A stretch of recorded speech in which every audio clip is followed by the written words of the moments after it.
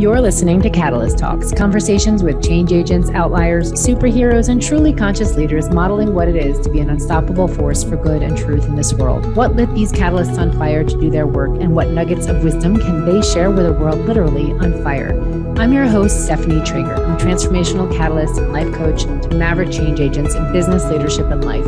On this podcast, I wear an eclectic mix of hats, including Earthkeeper, Wayfinder, Truth Teller, Coach, Lawyer, Business and Impact Strategist. My intention is holding space for higher purpose, peak wellness, soul mastery, and deeper impact so we can live in harmony with ourselves, each other, and nature. Please subscribe to the podcast wherever you listen. If you love it, please share and spread the word. We're on YouTube and all the podcast platforms. See the show notes on catalysttalks.com for links and enjoy this episode. Welcome back to Catalyst Talks podcast. My guest today is Charles Eisenstein, a teacher, speaker, and writer focusing on themes of civilization, consciousness, money, and human cultural evolution. He's the author of Sacred Economics, a book that commingles actual economics with the psycho-spiritual dimensions of money. He's also written Climate, a New Story, The More Beautiful World Our Hearts Know is Possible, The Ascent of Humanity, and The Yoga of Eating. Charles is a storyteller whose narratives build trust and possibility and help one arrive at their own truth. In this episode, we unpack some ideas around programming, morality, social credits, tracking, roles, self rejection, fear and control, censorship, scapegoating, and the mythology of reality unfolding right now. And while both of us share an opinion on the current events of the moment, there are many principles shared here that will help you arrive at your own. Stay tuned and enjoy this episode. Hello, Charles, and thank you for being with me today. such a gift. I want to open this space with an acknowledgement that nothing we say today will be sanitized or curated or necessarily comfortable, yet for those who truly hear, may it provide some comfort. You're a philosopher, a storyteller, mythologist, and you have a really gifted way of shedding light, perception, and perspective on critical issues using a super potent narrative and philosophical prose. And your words land in a way that really allow me and a reader to come to their own place of meaning making. And I've always really admired you for that. Um, you've recently been sharing your opinion on the divisive truth of this moment, the corona moment. And sharing your opinions may be challenging people's opinion or perception of you. Um, those who maybe have eaten up your words in the past, and now maybe there's a category uh, that exists, you know, that didn't before. And you know, we're seeing those categories in the world more than ever. Um, I'm feeling it myself as well. And they they sort of seem to exist around a strategy that's unfolding right now and it's not a new strategy and in your essays you write about the mythology and history of these strategies including your recent work on around JFK and the assassination and Nazi Germany the Rwandan genocide scapegoating in general the strategies we're seeing aren't new um, and I, like you, am on the continuum, moving towards the more beautiful world my heart knows is possible, recognizing the encumbrances of my own wounds and programming, as well as society's wounds and programming. So today, I'm really excited and keen to unpack some ideas around this with you around programming, morality, social credits, tracking, roles, things you speak about like self rejection, fear and control, censorship, scapegoating, and just the mythology of reality unfolding right now. So, just to kick us off, I'm curious where your mind is at in this now moment. What's up for you, Charles? Well, in the last few days, most of what I've been speaking on in interviews and stuff was around COP26. Uh, I've you know been quite active as an environmentalist or as an environmental philosopher uh, for some time. And one of the uh, um, points that I've been making is about reductionism, which is one of these, you call them strategies, maybe patterns would be a better word for it, but, but also strategies uh, of solving a problem by finding the one cause of that problem, preferably a cause that you can attack in some way, that you can quantify in some way, and then apply the apparatus of um, cost benefit min max to get those numbers down and the problem is solved So in, in the environmental sphere, that is the equation of green with low carbon and the panacea. It'll solve all the world's ecological problems if only we can bring those carbon numbers down, or at least that's the main thing. So I have a whole critique of that mindset um, that comes not from, oh, the environment's fine, global warming, ah, ah, ah, you know, drill, baby, drill, but rather from a deep environmentalist conviction. Well, that same pattern, I mean, and you mentioned some of the things, even like the self rejection, the war on the self, like what's the bad thing in me? But that same pattern has um, shown itself in the last two years uh, with the pandemic, where here we have decades of declining health, actually, compared to general levels of health when I was a kid. People are way more subject to chronic disease, diabetes, autoimmunity, addiction, depression, et cetera, et cetera, than they were a generation ago. But there was not a comfortable way to, like, there was no enemy that we could easily identify. So, what did we do about this? Nothing, basically. We certainly didn't turn society upside down in order to deal with the precipitous decline in, in well being until COVID came along. and now we had something that fit the pattern that enabled us to deploy these tools that ultimately are about control. And it was almost like the collective and especially the elites breathed a sigh of relief. Finally, here's a problem we know what to do something about. And it was many forms of control lockdowns, masks, isolation, distancing, vaccines, all the way to impose control onto the world and thereby solve the problem. So, excuse me, I'm coming off a cold here, which is good. Um, a detox. Yeah, a detox. But anyway, I don't know. Maybe that's a starting point. I could go into different aspects of that. Mm-hmm. Um, love to talk about, you know, science um, and what that is. I'd love to talk about progressive values. I'd love to just polarization. Really, any topic that you want to bring into it.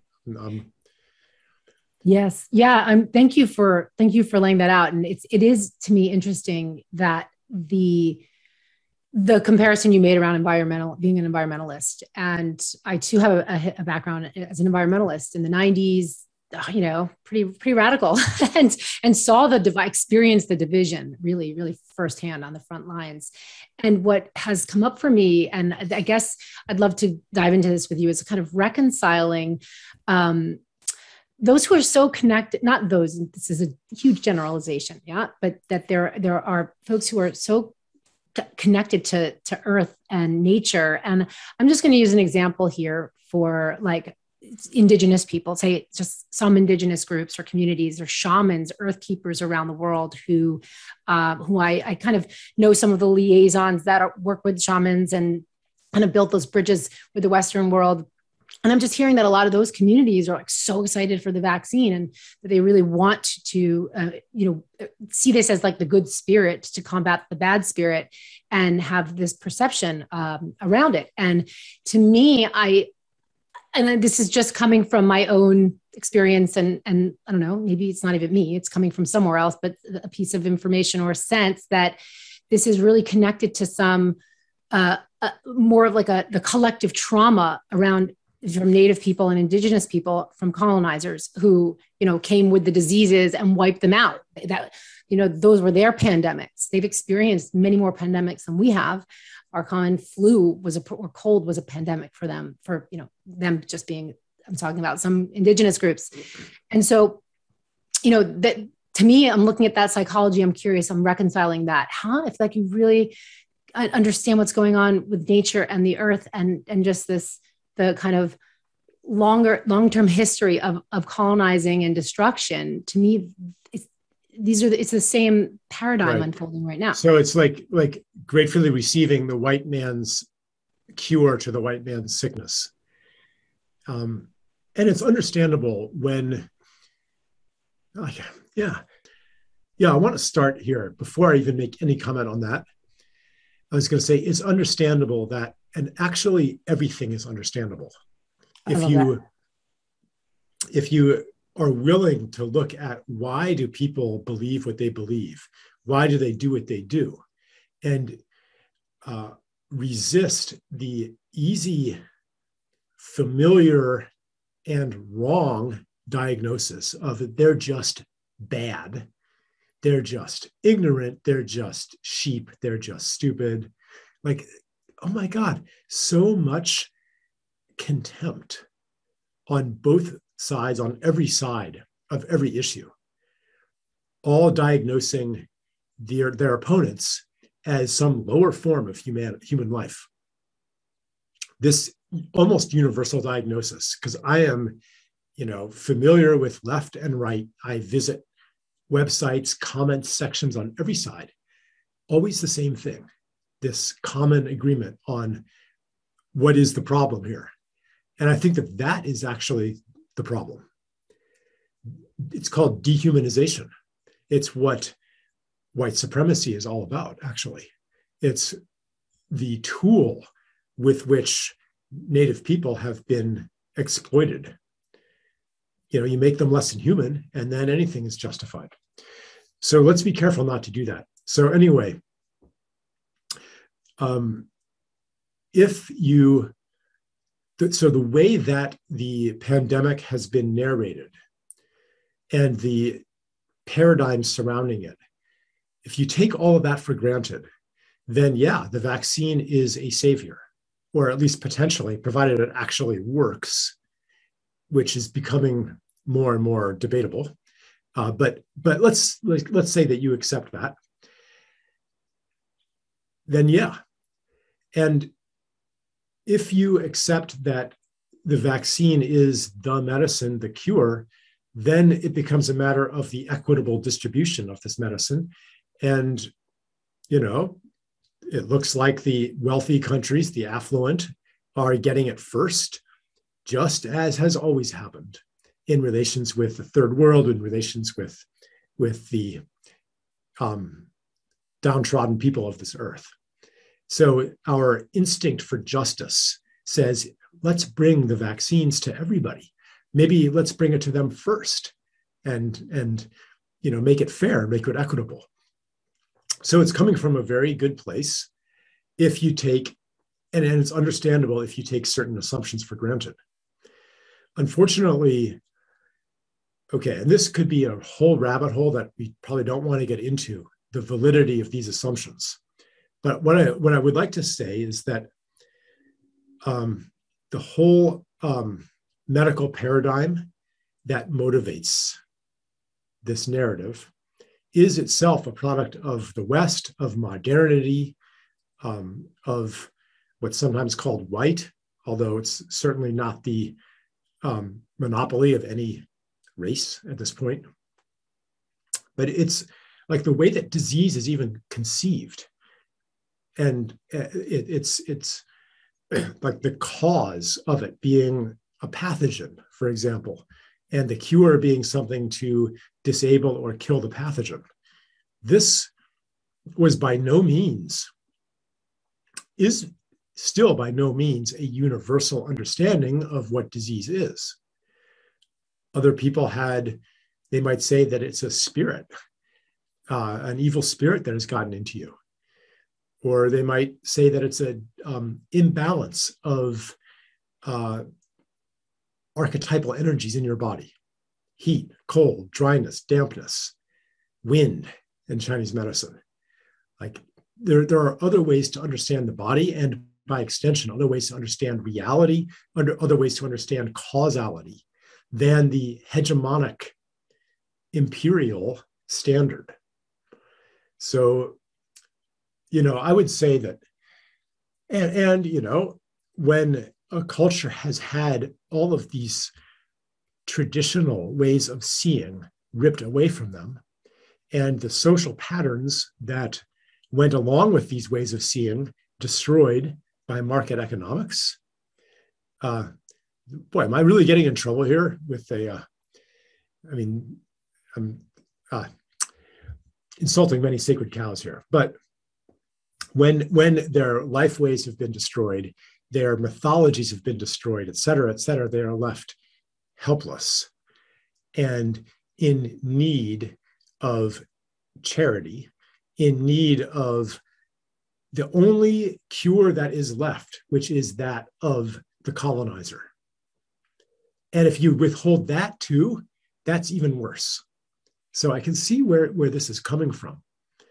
But what I would love to see is a um, reestablishment and honoring a resurgence of traditional ways of healing, traditional ways of seeing, seeing traditional conceptions of, of illness and health, then there would be a lot more on the menu than just vaccine or no vaccine.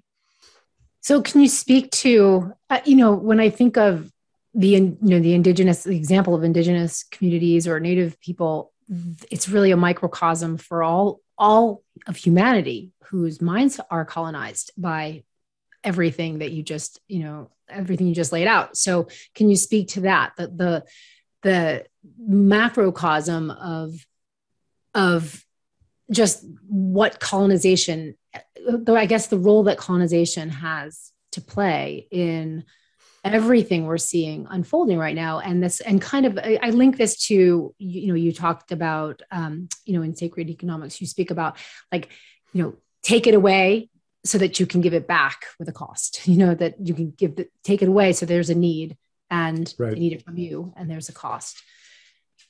Yeah yeah that's related.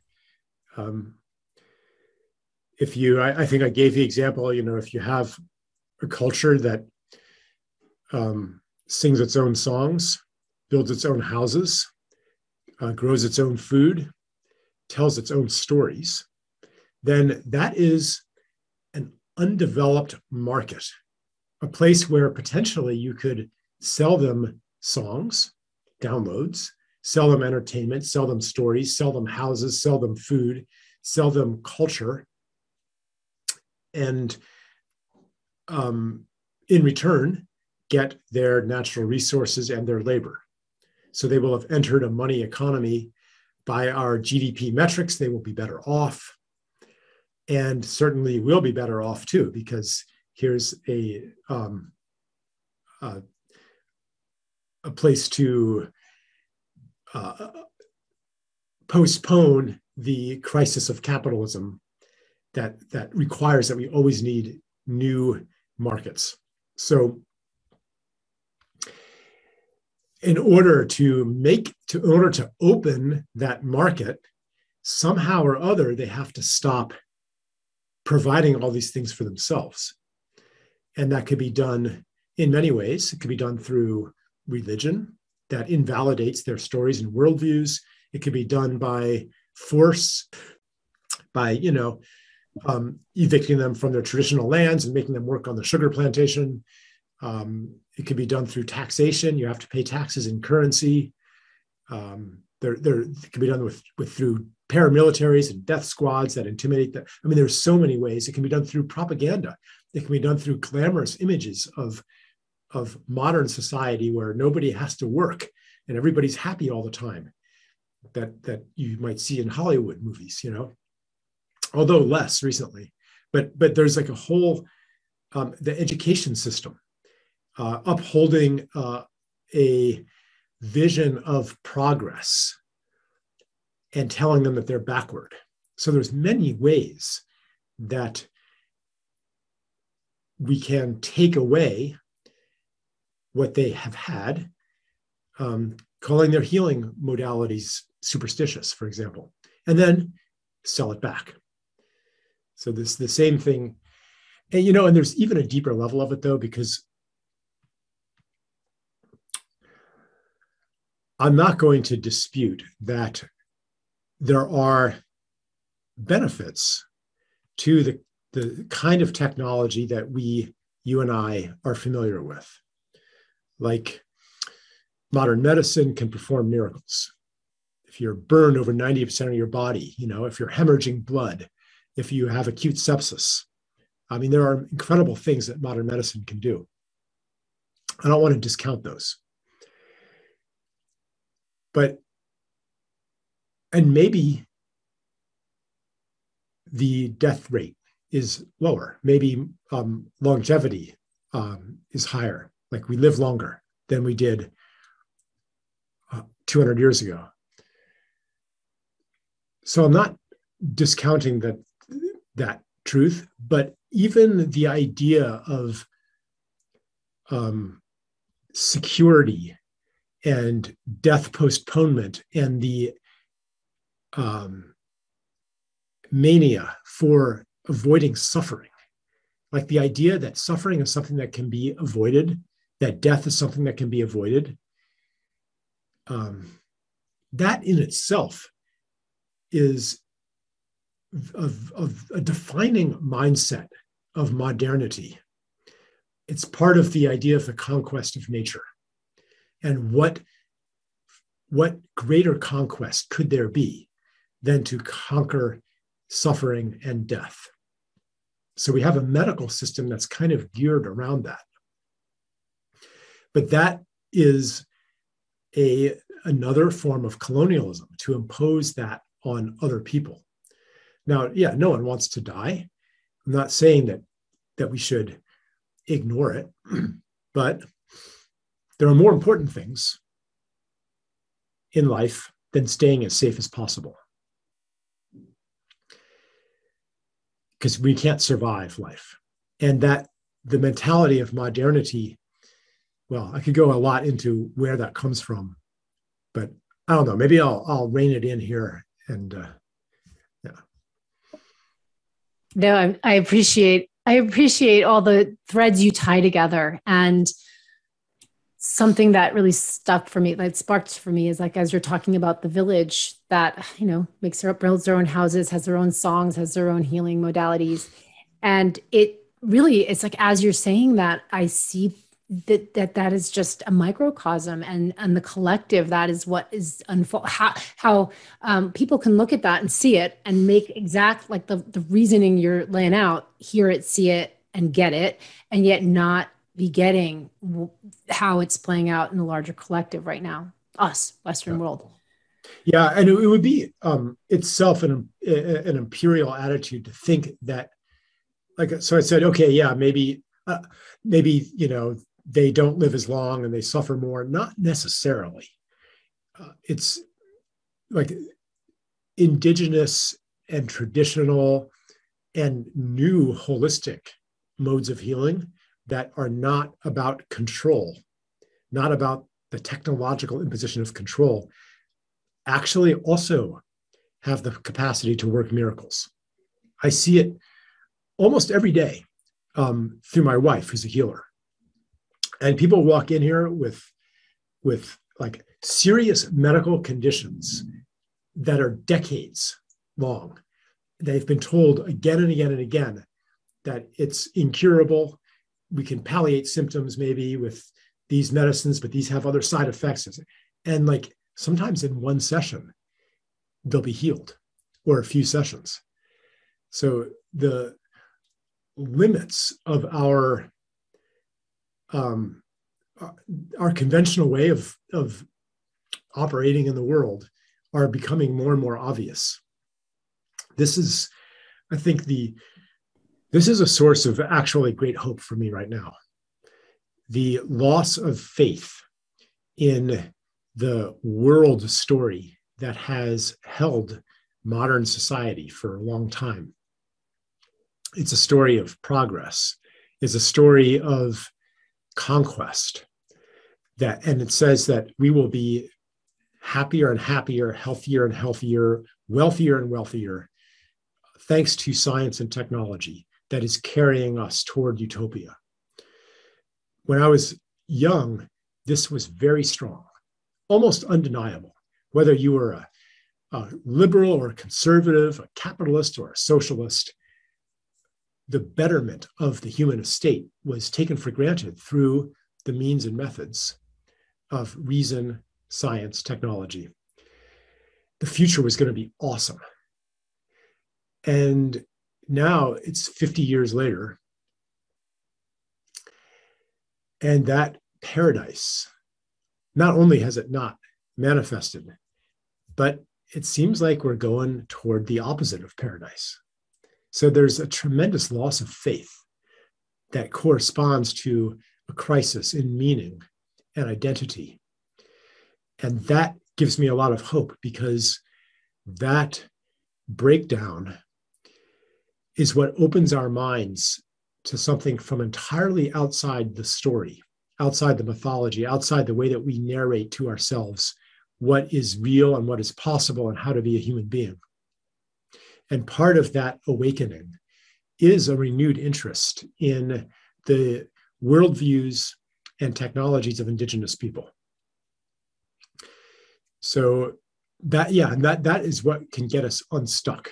Because right now, our means and methods are only intensifying the dilemma that we're in. It's like,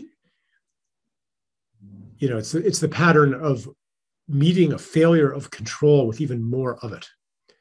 If Roundup stops working, then we find a new pesticide. If um, the uh, razor wire fences and, and cameras aren't stopping school shootings, well, you know, let's add some more measures. If uh, masks aren't stopping the spread of COVID, well, double mask, triple mask. If the vaccine didn't work, well, a booster, you know, some other medicine. Like it's always, um, this, it's the same pattern. And I think we are just almost at a tipping point. I mean, to take, take it back to COVID, where the um, harms and ineffectiveness of the vaccines are becoming more and more obvious to more and more people. And, you know, you could, I mean, this gets into a whole thicket of conspiracy theories and so forth, but you don't have to believe that um, evil is in charge to identify this broad pattern of, of the addiction to control. And we're seeing it not, you know, in, in public health policy too, and, and the abrogation of civil liberties and, um, you know, the, the locked down society. The idea here, this is part of a much bigger picture that did not start with COVID. The idea is that if we could only track and label and quantify everything in the world. This is what the Internet of Things is. And, and keep track of all of it and manage it, then we could administer it rationally. If we get it into the data set, we could administer it rationally and maximize whatever metrics we choose. And the metrics should be of human happiness. So it turns into this gigantic min max problem that who knows, maybe artificial intelligence could administer. And then we'd finally be happy. And if it isn't working, that means that there's still more that we have to get into the data set. So this is a actually hundreds of years old idea that that that we've got to get in control of everything through technology to make the world better. It goes back to Descartes, you know, it goes back hundreds of years. And that is what is coming into question now as we are seeing technologies of control taken to their logical extreme. And the question is how far are we willing to pursue them before we choose another path? Mm. Something something that I really have a hard time reconciling. Well, I don't have a hard time reconciling it. It's it, it is what it is, but it's it's yeah hard to hard to reconcile the fact that others aren't connecting the dots here. So, um, and I just I, I don't say that with any judgment. It's just it's really like a, a thing I'm trying to sort out, and it, and that is the idea of of i'm sure you, you mentioned cop26 like the, the, the way we're going to solve all the problems of the environment is through technology and um, smart cities and smart grids and id cards and tracking and and that there really is this kind of and then we connect it to connecting it to the things that people care about right? Like social justice and social credits and connecting it to carb- decarbonization and, and and the good stuff and so then you get the good people who want to participate in that and like kind of get the buy-in. So there's this um, what is going to be the the how how are people going to wake up to what you just how you just connected all those dots right? It's like you can see it and yet there's still just dots that aren't connecting and those are like the critical the critical yeah. dots. It is a painful process to let go of reality as you had known it, because it also involves yourself as you had known yourself. A collapse in worldview is traumatic. And people hold on quite tightly to the sense and meaning and identity that, that they have grown into. It's also very hard to go against the crowd normally when a human being sees something anomalous, sees something that that unexpected, the first thing you do is you turn to the person next to you and you say, "Did you see that?" In a mass society, you turn to the um, the collective knowledge that is found in science and academia and the media, you know, that say, "Here's what's real." So, did I just see that? Oh, oh, here's what's real. Oh, okay.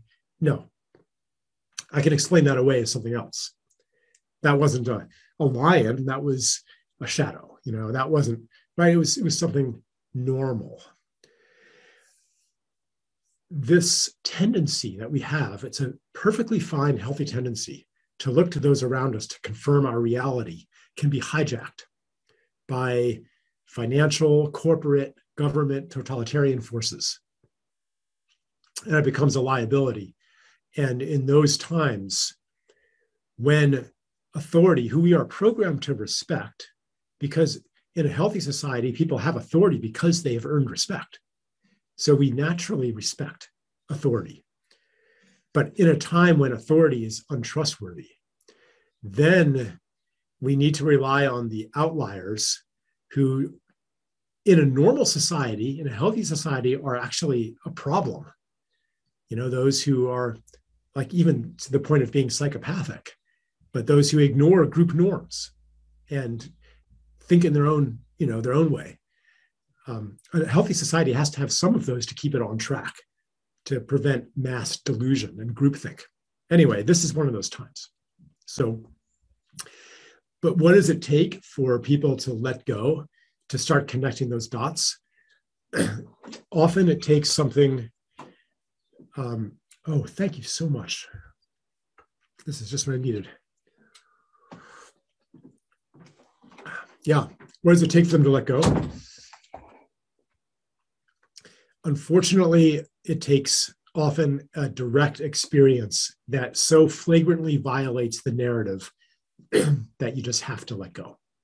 I uh, came across yesterday a very sad example of this it was a series of uh, screenshots of, of a Twitter feed. And the, the first one, the woman's like, you know, going to get my kids vaccinated. You know, she had a teenage son or something, and it's going to be great. You know, we're gonna we're gonna lick this thing. And then it's like, ah, my you know, my son is having some uh, pretty intense reactions. I asked him if he's still glad he got vaccinated. He said yes. You know, it's you know, it's rare and it's temporary. Third one, she's like, you know, we're at the hospital. He's been diagnosed with myocarditis, you know, mild, though they say it's mild myocarditis. And then the fourth one is just like, mild means you have to be in the hospital for four days and then indefinitely into the future keep going back for appointments. You know, this is costing me a lot of money. Like you see over time, her transformation into like pretty much like a rabid anti vaxxer. that would not have happened without this experience. Oh, and then like her Twitter account got blocked because she's like, I can post like yeah, like like you know as misinformation, but she's like, this actually happened to me. You know, why are they saying it's misinformation? So if that's a few isolated things, you know, then okay, no big deal.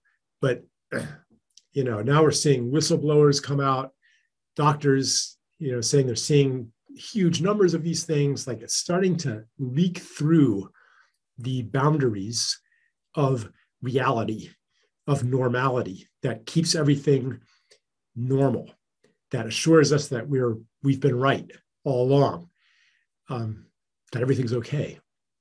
Starting to to leak out of that, and I mean, I wish it could happen without, you know, this kind of tragedy, which is unfolding on a huge scale now. Um, and you know who I really admire? It's not the people who are right all along. It's the people who can admit to themselves that they were wrong. Because to do that, you have to render a sacrifice of your self image, of being right and good and better than. And in a society where our um, self esteem is conditional, where we've been trained to esteem ourselves for being good and being right,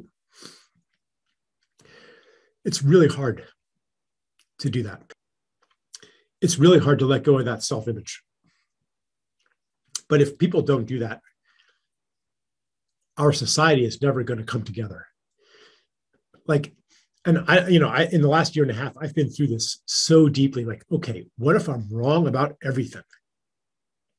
What if COVID is exactly what the authorities and pharmaceutical companies are telling us it is? Um, what if the vaccines are the only thing that's going to save us? Like, I, I've like not even as an intellectual exercise, but like full on in that reality. Because I want to be willing to be wrong. And whatever sacrifice it takes, I want to be willing to go there. Why? Because that's the only hope for this planet.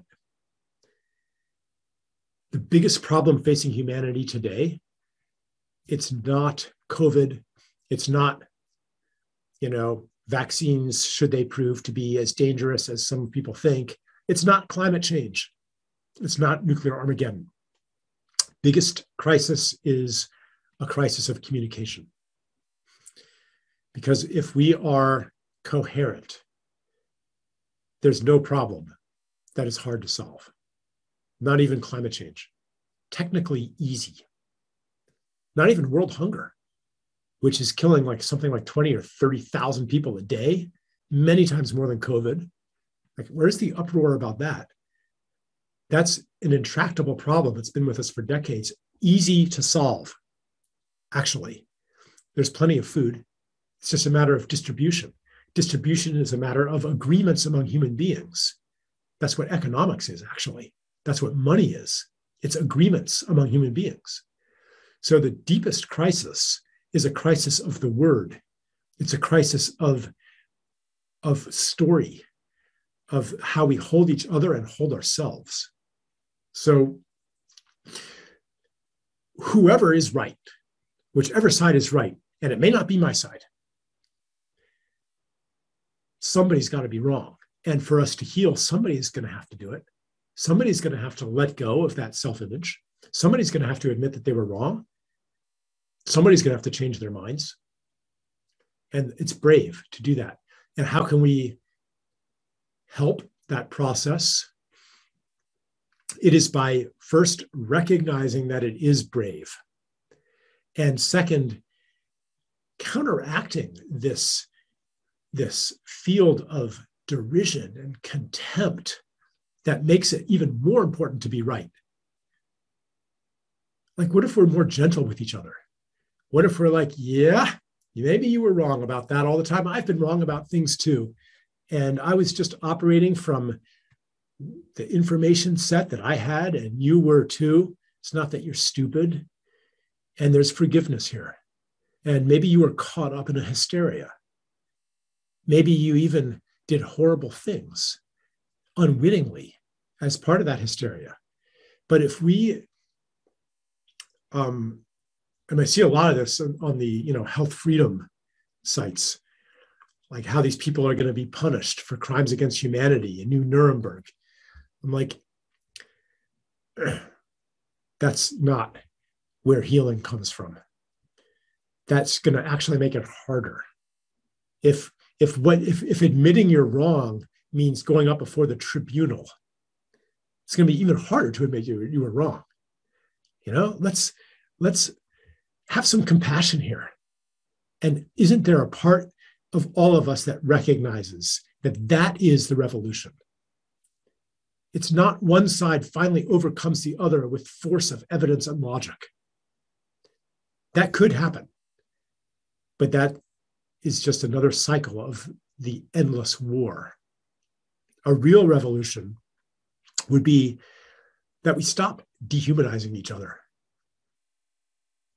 and we ask, what is it like to be you?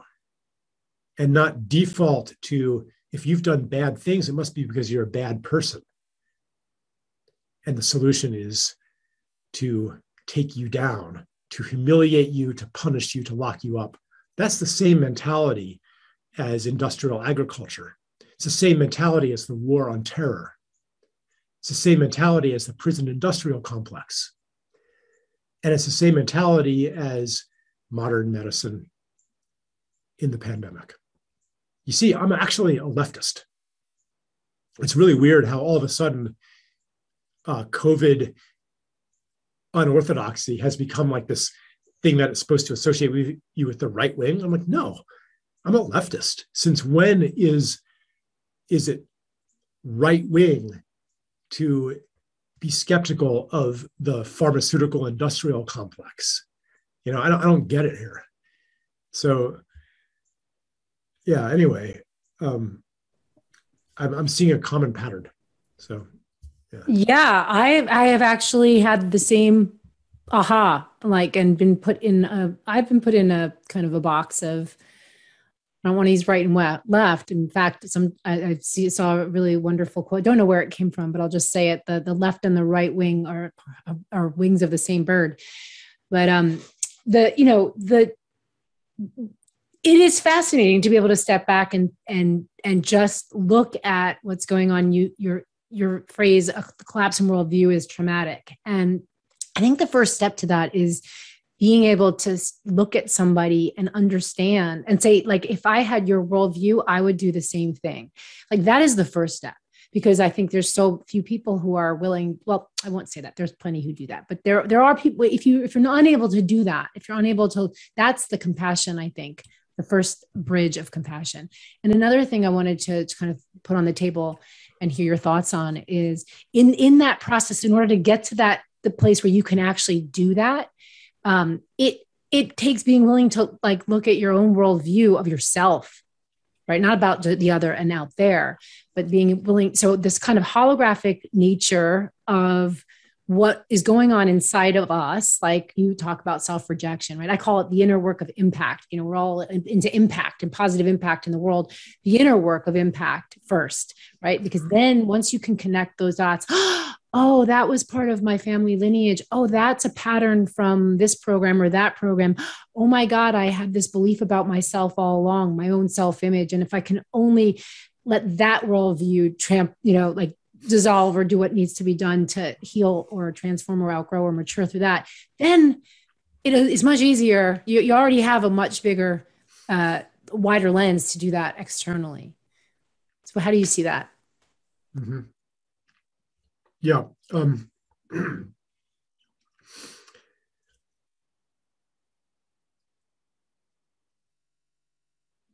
that that's definitely one of the um, roads to a positive kind of doubt.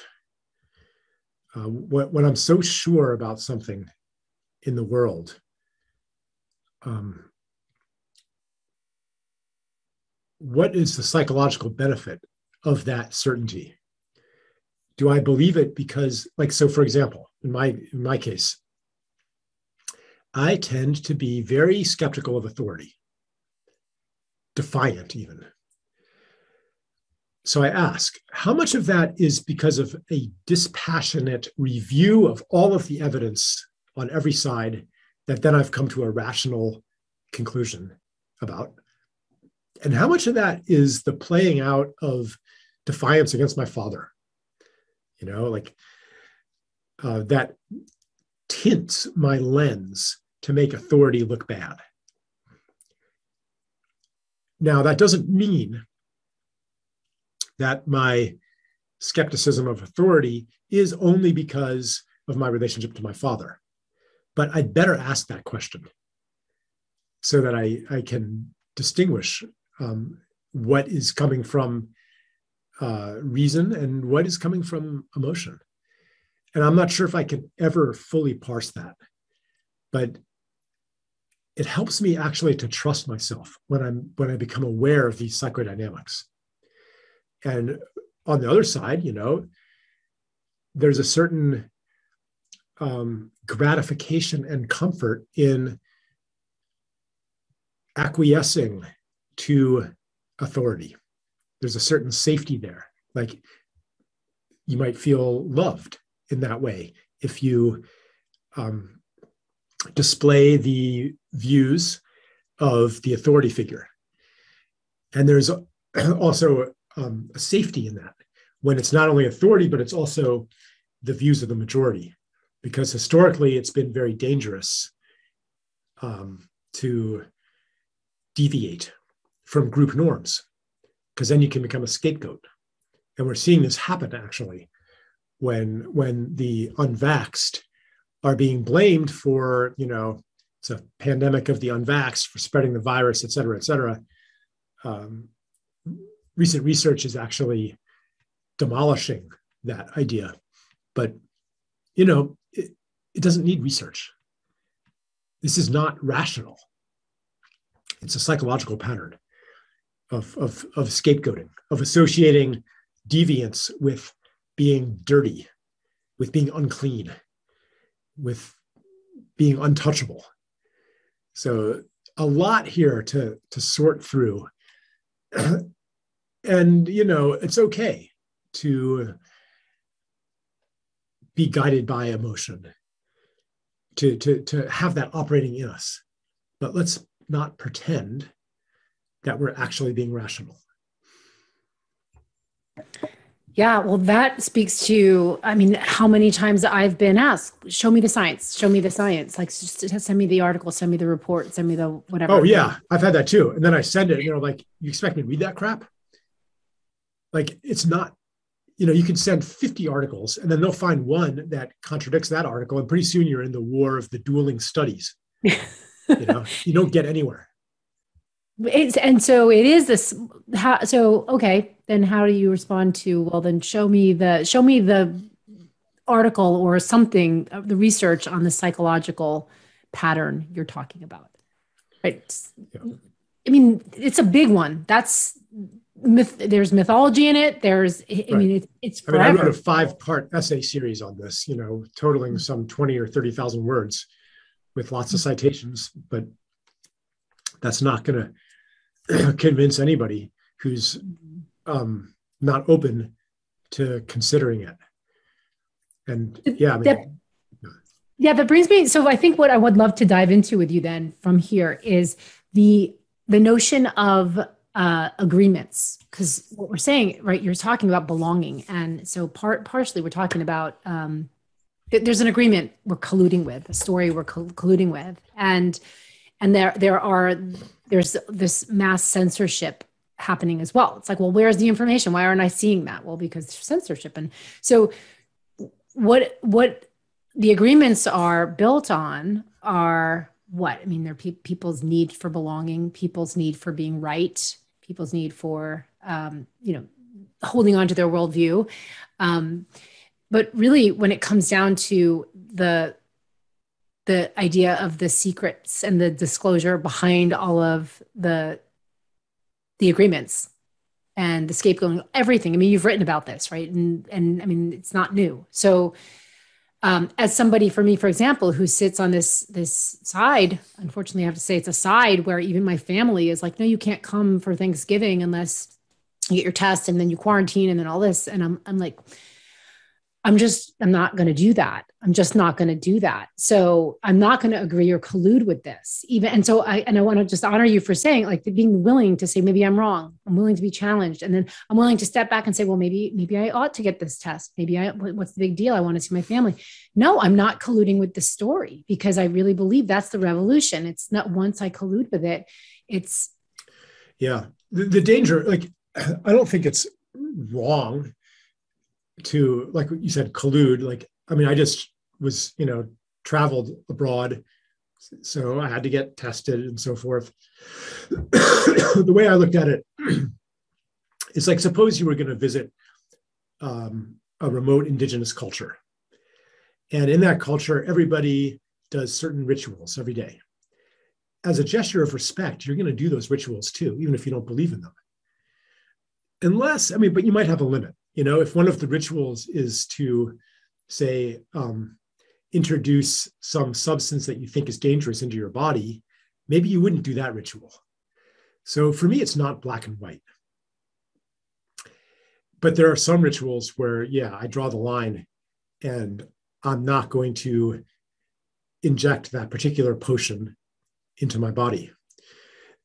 Um, there was something else i wanted to say about that uh, let's see, being disinvited to things. Um, hmm, I lost it. It was a good one too. Uh,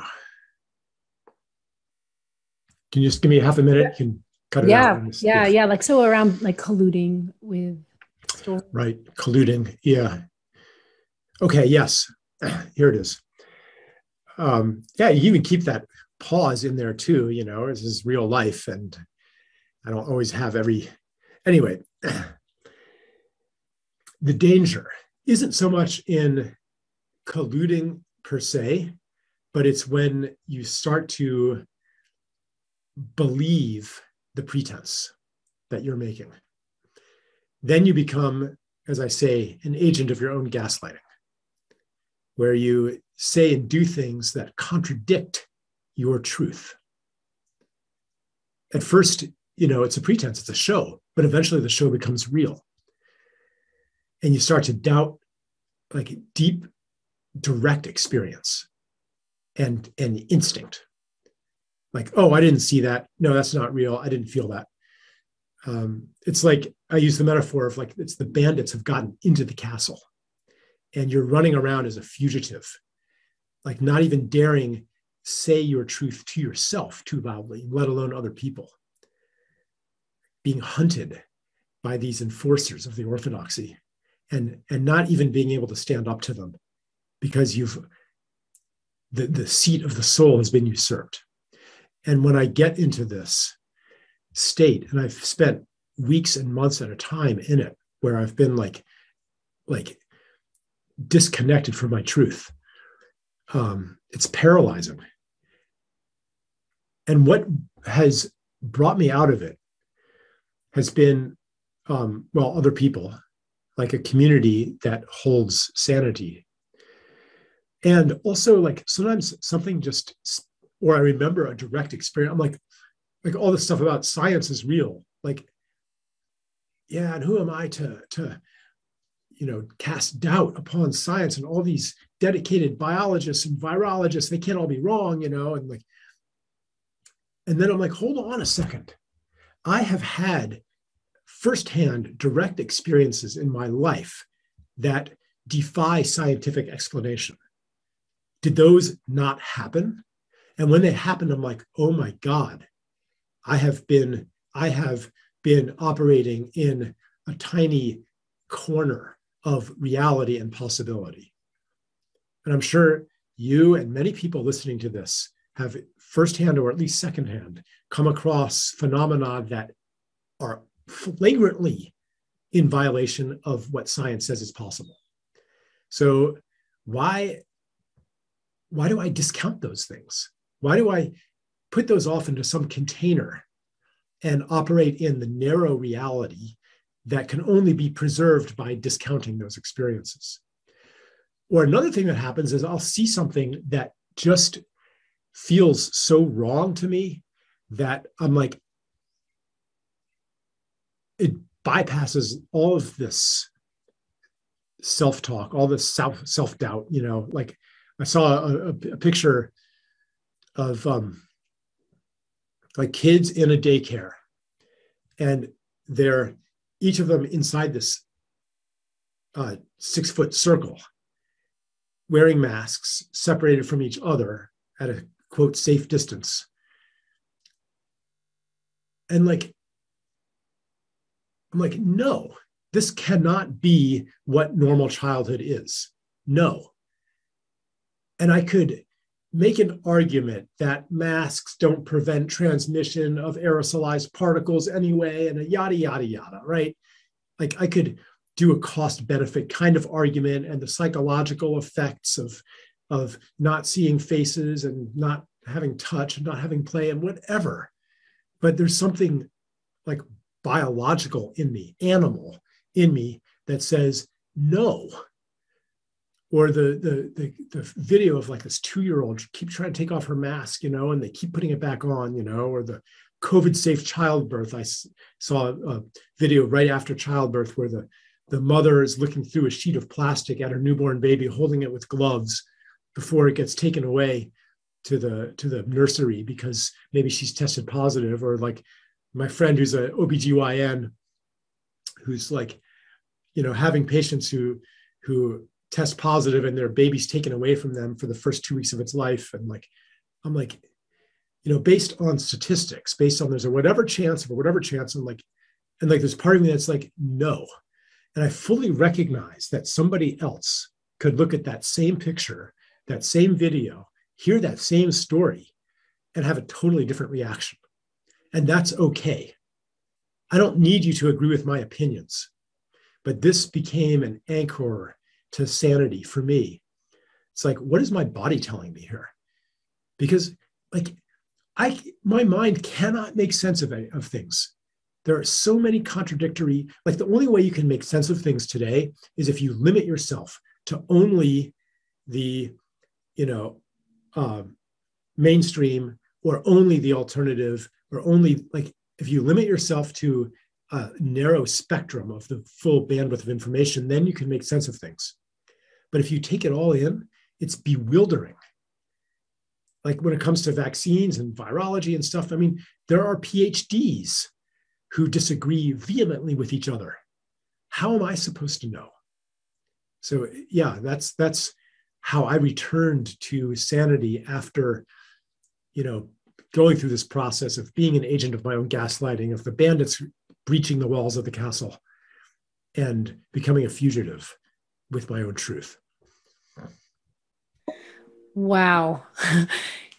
ah, wow. Thank you. Um, I feel like we have been living a, uh, like you're my alter ego because I've had from really walking a path and, and, and how you articulated, uh, my experience was just profound. So thank you.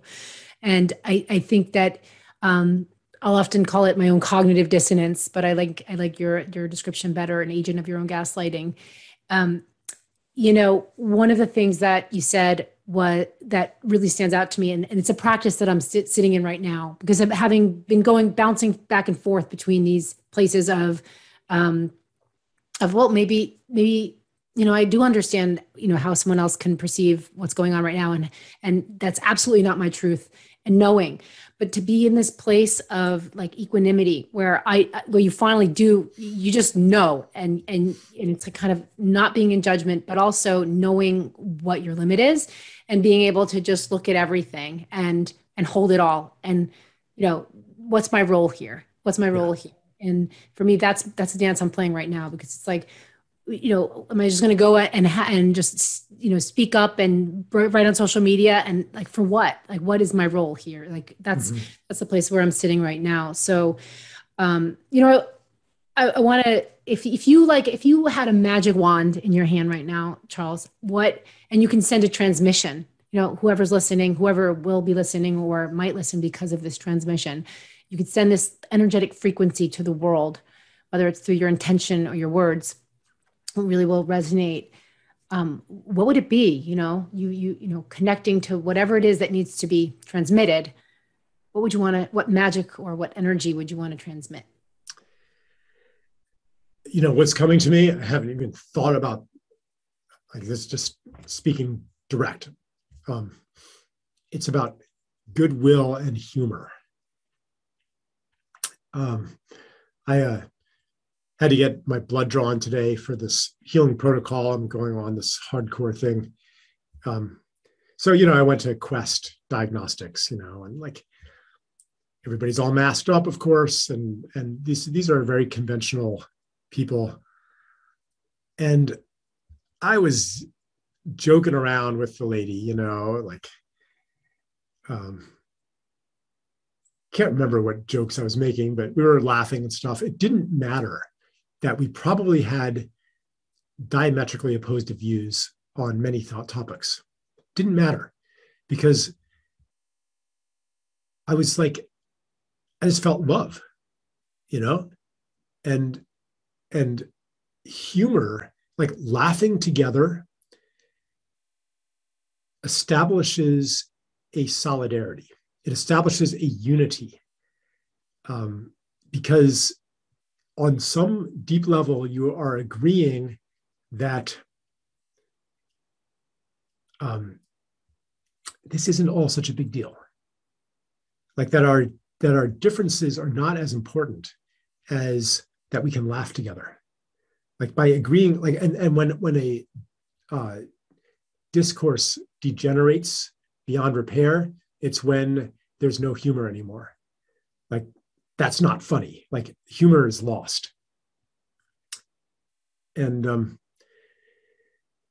yeah, it's like like even on a uh, esoteric level, like the idea that this whole thing, this whole human drama, is a theater, is is a drama, and after we die, we maybe get together and be like, "Wow, look at that! You did this, you did that. Wasn't that wasn't that adorable you know like um, this this sense of that this life with all its dramas isn't the deepest reality humor touches that mystical realization.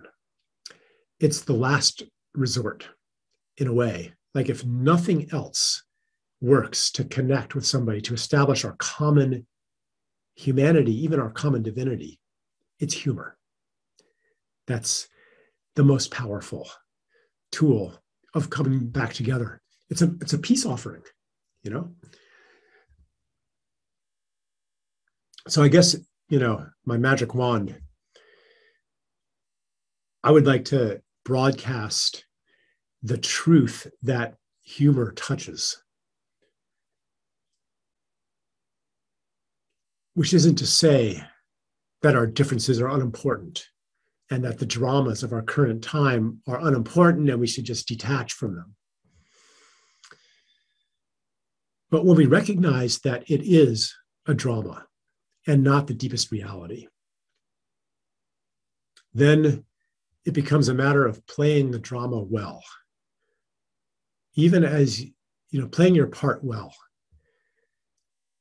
When and and, and being curious too um, how is this drama evolving?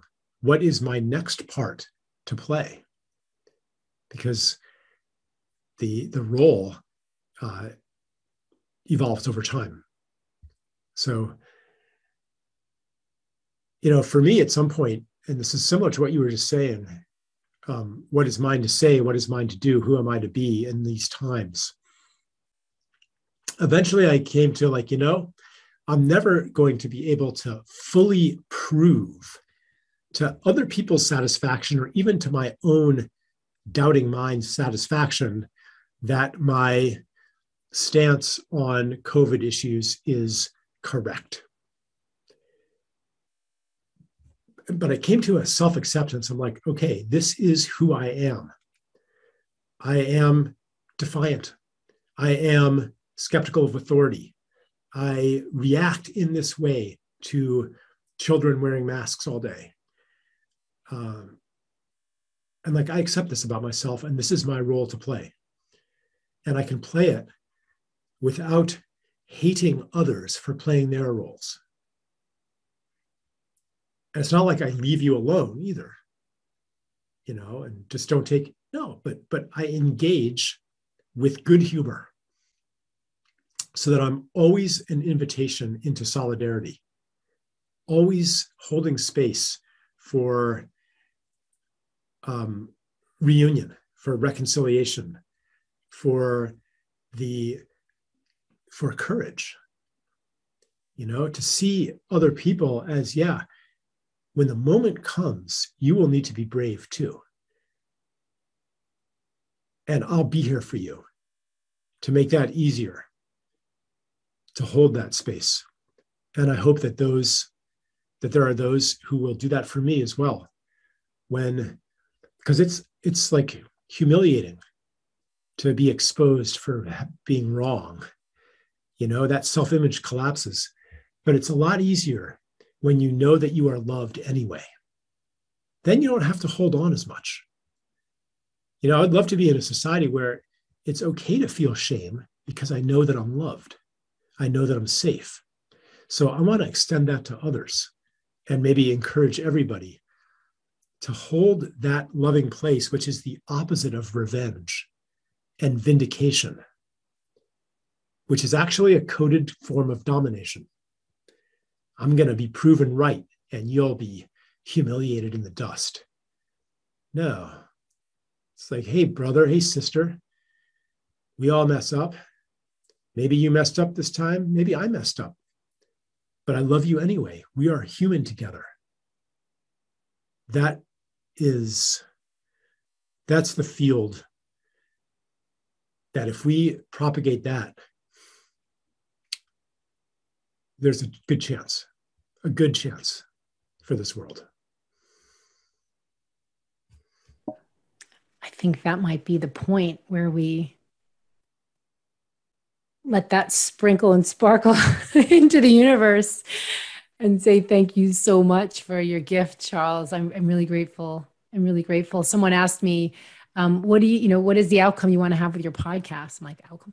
I, I just want to talk to people who I want to learn from and and then share that with everybody. So thank you for that gift. Yeah, thank you. Thanks for joining us on this episode of Catalyst Talks. Stay tuned for what's up next, and please subscribe to our podcast and rate us wherever you listen. You'll find these all at catalysttalks.com. Join the conversation on social media, and if you'd like to reach out, please send me, Stephanie, a private message through stephanietrager.com. Your attention means the world to me. Thank you, thank you, thank you.